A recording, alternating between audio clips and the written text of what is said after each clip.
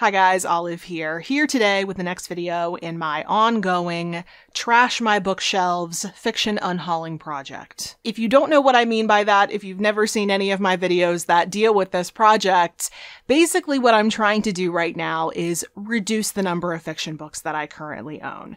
When I first moved to Pittsburgh with my husband, kind of the way I learned my way around this city was going to library book sales and the different used bookstores in the Pittsburgh area. I also go to used bookstores and library book sales in other areas when I visit. So I was acquiring a huge book collection when I first moved here. And of course, as I started to get more and more into the book scene, but I was acquiring a lot of fiction books at the time because that's what I read more of at that point in my life.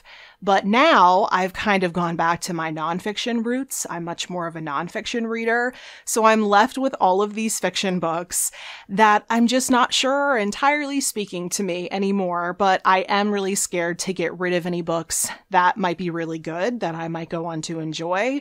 I've read so many books that I thought weren't going to be for me, and then they ended up being new favorites. So I'm just kind of scared of that. So I decided that I was going to basically crowdsource this project and that I would go through five of the shelves on this far bookcase where I keep my fiction books. I would go through those shelves, show you what the books are, get your opinions, and then decide whether or not I was going to keep those books based off of your feedback. Well, what I discovered in the very first shelves video is that there are always a handful of books that people just do not agree on. Some people love them, some people hate them. There's no consensus and there's no way of telling whether or not I would like them. So I decided that each shelf from that bookshelf, there are a total of five, I was going to make one video where I show you all of the books, tell you how I'm currently feeling about them, give you some time, a few weeks, to give me all of your feedback in the comment section, and then I would make my decisions, and whichever ones were still middling, whichever ones I couldn't make a decision about, I decided I would read a chapter or a handful of chapters, whatever got me up to 25 pages. I would sit down and read them in a try a chapter tag, and I would use that to make the final decisions about the books on that shelf. So here are the five books. Here, I'll show you. Here are the five books I'm going to be sampling today. I'm going to read a little bit from each of them off camera just because I'm not trying to kill my camera battery. And then I'll come back and give you my comments. I will start over here with this bad boy just because it's the one on top. So the book that I'm starting with is called Bell Weather by Dennis Mahoney.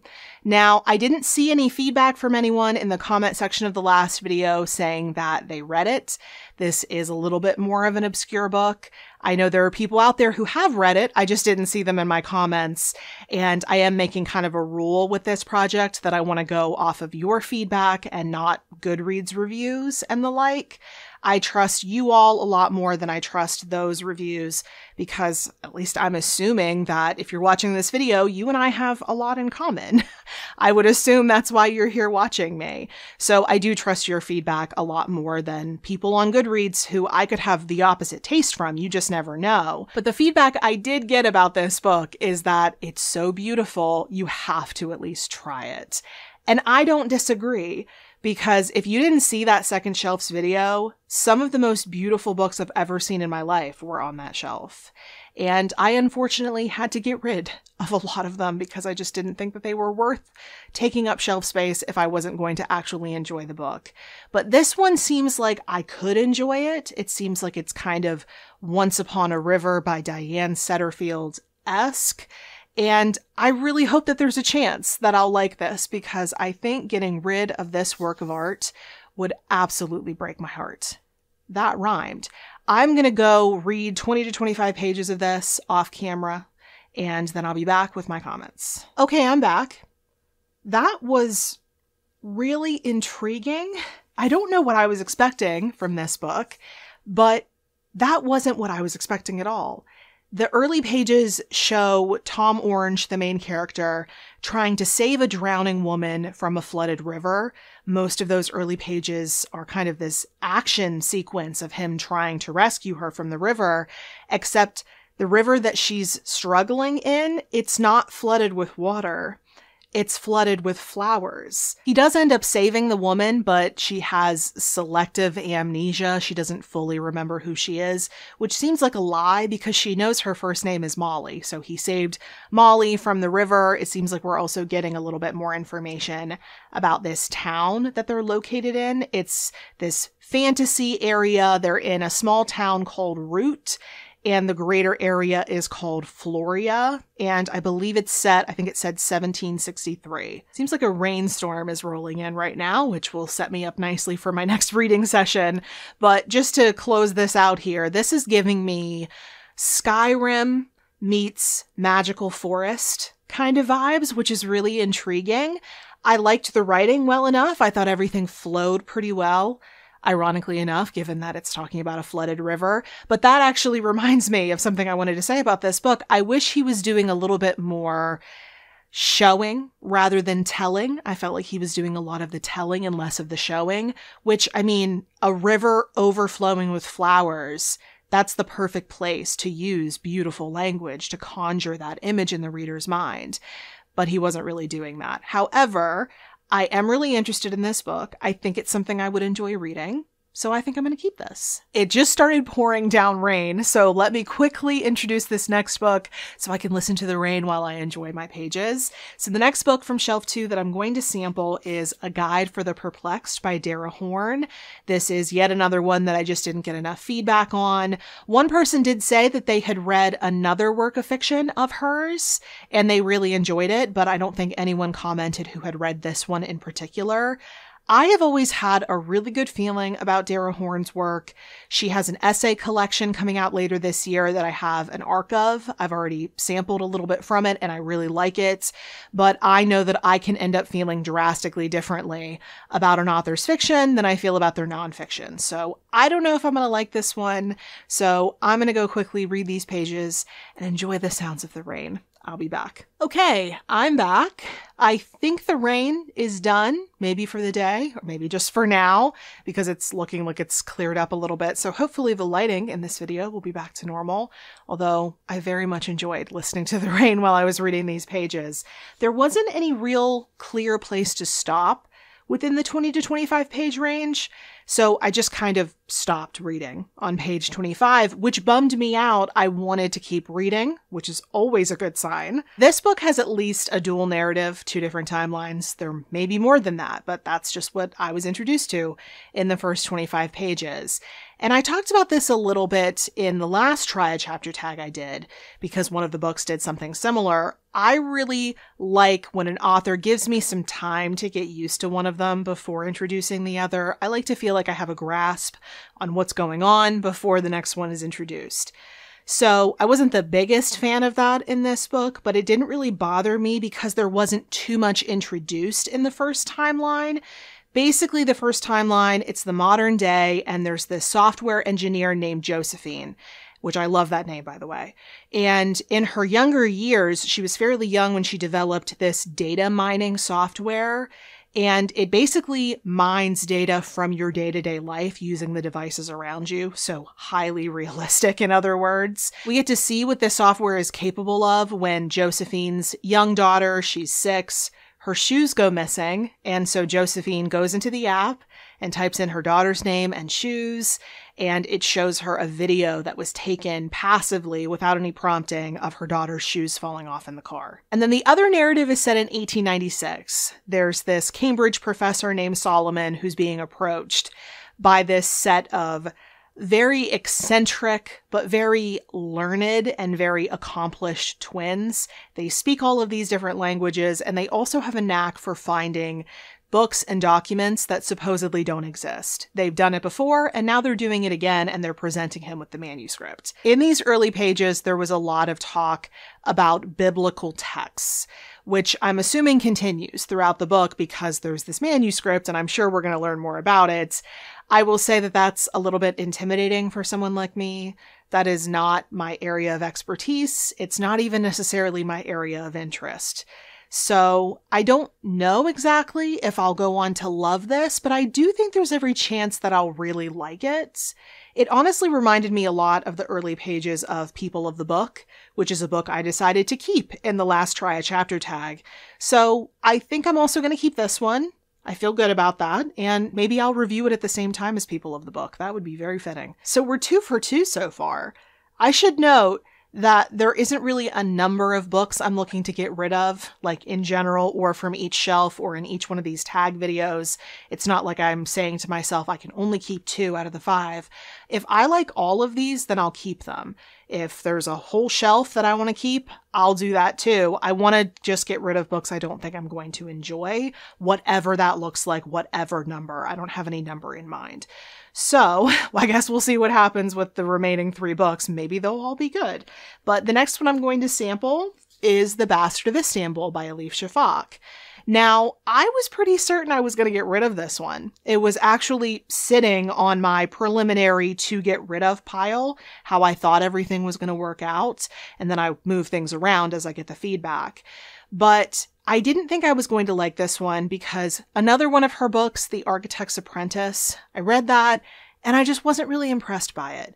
I didn't really like it, but I also didn't dislike it. It was just kind of one of those meh books. There wasn't really anything special about it. But then I read your comments, and a number of you said that this book is nothing like The Architect's Apprentice. And you urged me to give it a try, so I'm going to go do that, and I'll be right back. Hi again. So I stopped on page 22 of The Bastard of Istanbul because there wasn't a clear place to stop around 25 pages. So I just decided to go within the 20 to 25 range. I read 22 pages of this. And what's happening in those pages is that there's a young woman in Istanbul. I'm not sure if it said where we are time wise. If it did, I completely missed that. But there's a young woman fighting a rainstorm in July very appropriate considering what happened earlier in this video. But she's fighting the rain, she's fighting the traffic because of the rain, and also some street harassment in order to get to a gynecologist's appointment. She's late for an appointment. But when she gets to the office, we find out that she's trying to terminate a pregnancy. But when they actually take her to terminate the pregnancy, she's thrashing, she's yelling, they can't perform the procedure.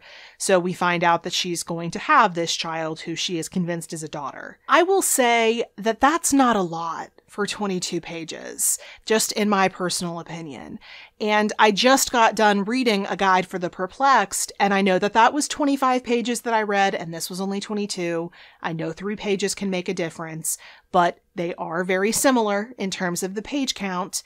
And I feel like A Guide for the Perplexed, Dara Horn, did so much more with that time, whereas it felt like these 22 pages, it was just one extended scene and it actually reminded me of the frustration I was feeling when I was reading The Architect's Apprentice. She does have a beautiful way of saying things, but she just kind of goes on and on about it. And I remember feeling when I was reading The Architect's Apprentice, like, can you just get back to the story? Like, can we please focus on the story? Can you please just say what you want to say so that I can find out what happens next? I'm getting the feeling that that's just her writing style and it seems like I don't get along with it. It doesn't mean there's anything wrong with it. I'm just very much thinking that it's not for me. So I may change my mind in the future. I might be a totally different kind of reader in the future. I never say never. I have learned not to. So I can always get her books out from the library. There are always ebooks. So if I want to try her books in the future, I can do that, but for now, this is going to go because I want the shelf space. All right, these last two books that I'm going to be reading from in this tag are by far the ones I got the most feedback on, and it was pretty much split down the middle with both books.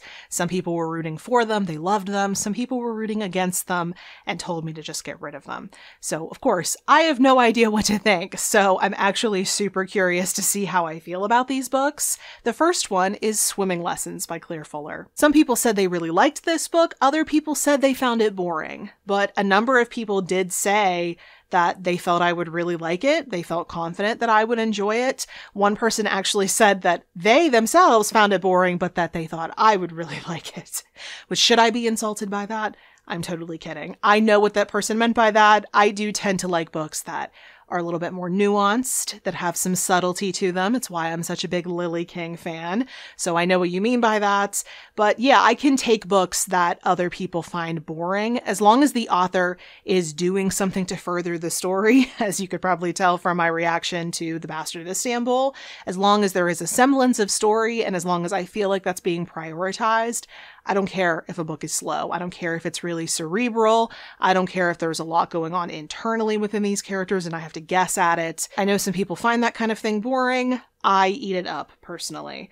So I do feel pretty confident that I'm going to like this, but I'm still going to give it a try and make sure. So I'll be back. Okay, well, that read really quickly. I technically read three chapters of this, which was 20 something pages, but they decided to put whole blank pages in between chapters. So I'm not positive that it was actually 20 something pages. It was probably more like maybe 17 or 18. But I think I got the gist of this book. When it starts, there is a man who thinks he sees his wife and she's been missing for over 11, almost 12 years. He thinks he sees her, so he's trying to chase her down, but he ends up falling off the promenade in this area, which very much worries his two daughters, understandably. I definitely got the impression from these early pages that those two daughters could not be more different from one another. One of them seems more composed and put together. She doesn't believe that their father saw their mother, but then the other one is more scattered, but she does believe their father when he says that he saw their mother. And we also find out that their father wrote a famous novel. And then in the last section that I read from this book, it has one of the infamous letters that the missing wife Ingrid wrote to her husband while she was still living there before she disappeared. She, for years, had been writing letters to him, saying all the things she couldn't say in the marriage, and then she hid them in books around the house. I guess no one reads those books if no one found one of those letters in almost 12 years. But the letter that we get to read was dated 1992, and she's talking about when she first met the man who would go on to become her husband. Apparently, he was her creative writing instructor. I'm definitely interested now. I mean, I want to know more about why the wife left. It seems like this husband is good at spinning stories in every sense of that term. So I'm wondering what he was doing or how she was feeling. So I love books with good family secrets. I liked the writing in here, and a lot of you seem very confident that I will go on to really like this book. And that's personally good enough for me. So this one's going to stay. But now finally, the last book that I'm going to be sampling in this video is a dark one. Probably good that it looks like more rain is coming in. But this book was probably the most disagreed upon book from the comment section of that last video. It's Melmoth by Sarah Perry. Some of you said that you loved this book, you loved the atmosphere, you actually liked it more than The Essex Serpent, while other people said it's not as good as The Essex Serpent, it was disappointing. Other books do the moody, gothic, atmospheric thing a whole lot better. So I don't know what to think. This was actually the first book that I knew was going to have to be in this tag because there was so much disagreement. And there was a lot of disagreement about swimming lessons too, but I just generally felt more confident about that one, especially because a lot of you were saying that you thought it would be my kind of thing. I didn't get quite as much of that when it came to this book. So I do think this one is a 50 50 shot. I have known that I've needed to try this book for myself basically since right after I posted that video, so this has been a long time coming. Let's see. Okay, back once again for the final time. I read up until page 20 of Melmoth by Sarah Perry, and not because there was any kind of break there. I just wanted to stop reading after I had read my 20 pages. I did not like this. This whole book starts off with a letter from one man to another. It's a letter of warning. It's written to a man named Karel. I think that's the right way to pronounce that. I did look it up, but I hope I got that right. But the letter is asking for forgiveness for what we don't know yet, and it also keeps mentioning a she. Then we're introduced to a perfectly ordinary English woman named Helen who lives in Prague where this is all taking place. She's lived there for about 20 years. She works as a translator, I think just for businesses, for corporations, but she's friends with Karel, I still hope that name is being pronounced correctly. And we also meet the woman who I think is his wife, Thea, which I love that name. That's my cat's name. I hope she doesn't come running now that she heard me say that.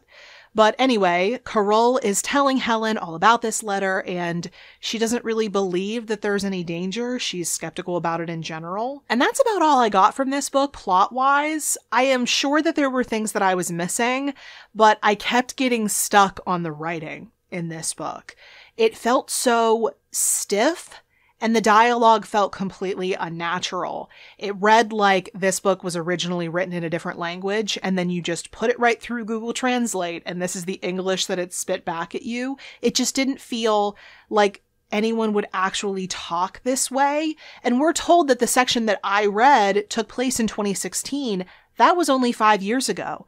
I was there for that, and no one talks like this. I don't remember the dialogue bothering me when I was reading The Essex Serpent, but then again, I do think that book was set in the Victorian era or sometime in the past, so maybe it didn't read to me as unnatural because of the time period. But if you're going to tell me that something takes place in 2016, then people need to talk like they're in 2016. So this is another one that's going to go. Again, if I ever change my mind in the future, there's always the library, there are always ebooks. I'm actually actually much preferring reading on ebook these days anyway.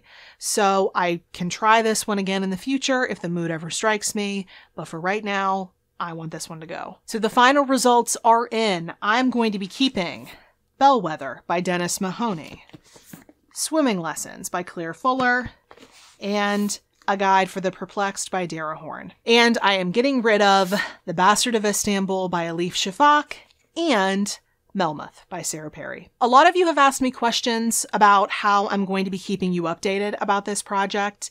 And while I don't personally want to sit down and make a video and show you which books I'm keeping, which ones I'm getting rid of after each shelf, that sounds very repetitive. It doesn't sound like something enjoyable for me to make or for you to watch. I don't want to do that, but also I can't do one at the very end of the project because that's a lot of books and I'm also getting rid of a lot of them as I go along so they're not swallowing me in this reading room. And also the ones I'm keeping, I'm going to be reading hopefully as the months go on. That's another part of this project that I want to read the books that I keep so that I can also get rid of those if I don't want to reread them. So it's a little bit tricky, but what I landed on is that after the final try a chapter tag, I will show you the books that remain on my shelf. I'm also going to be doing a big reorganization project and I'm going to be doing a bookshelf tour. So you will get to see the ones that stay. And then the ones that I'm getting rid of, what I decided to do was after each shelf, I would take all the books I'm getting rid of, just the ones I don't want anymore, and the ones that didn't make the cut in the try a chapter tag. I take a picture for my Instagram and I put it up over there. So that picture is up right now. If you go over and check it out, leave me a comment with a hedgehog emoji to let me know that you came from this video and also because hedgehogs are adorable. So that's all for today's video and that is officially a wrap for shelf number two. I'll be moving on to shelf number three here very shortly. This project is really moving along nicely. I have already cleared up so much space on this bookshelf. I've put other books there so it doesn't look so barren, but trust me, there is so much extra shelf space. There is so much more room for me to work with when I do my big reorganization project in the fall, which I cannot wait for. But thank you all so much for continuing to help me out with this. This has been such a nice, productive, positive thing in my life right now when other things in my life are very, very stressful. So again, thank you. Thank you for taking the time to watch, to comment, to let me know what you think. It's really cool having you all involved in this with me. So thank you again. And if you have any comments or questions about anything you've seen in this video, please do let me know in the comment section below. Again, if you want to see the picture of all the books I'm getting rid of, head on over to my Instagram, which is linked in the description box below, along with everywhere else you can find me, including Goodreads. Thank you so much for watching. I hope you're having a wonderful day, and I'll see you in the next video. Bye.